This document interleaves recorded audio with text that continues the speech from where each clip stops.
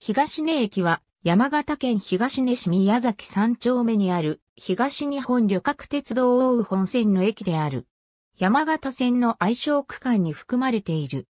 大宇本線が山形駅から立岡駅まで開通した当時、現在の東根市にあたる地域には、軍の基地の最寄り駅である神町駅しか設けられず、東根の中心部には駅がなかった。そのため中心部に新しく駅を作る要望が生まれたのだが、東根温泉の湧出により東根の中心部よりも温泉により近い場所に駅を作ろうということになり、この東根駅が中心部とは少し離れた場所に開業した。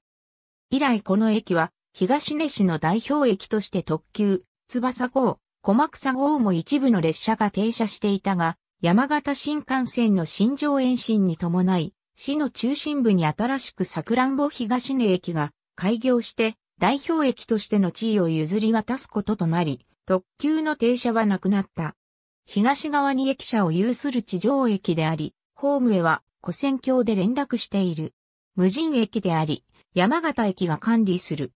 山形新幹線、新庄延伸工事が開始されるまでは、島式ホーム一面二線を有していたが、工事により西側の一線が撤去され、単式ホーム一面一線となる。使われなくなった線路跡を利用して2006年に駅西口が開設し、ロータリー、駐輪場も新設された。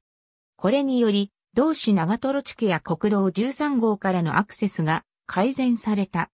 ただし、駅東西の行き来は、駅構内を通過する形になるため禁止されているほか、終電が通過すると始発まで閉鎖、施錠される。ホーム上に乗車駅証明書発行機が設置されている。2004年度の乗車人員は、1日平均275人。ありがとうございます。